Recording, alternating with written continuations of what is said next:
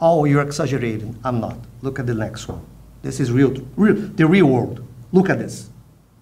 People send me this.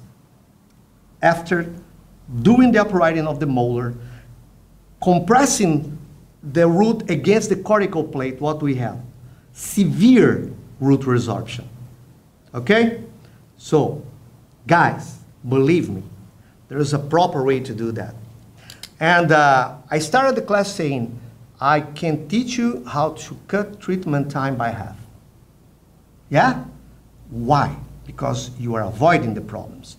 The treatments, they are elongated because of our own mechanics.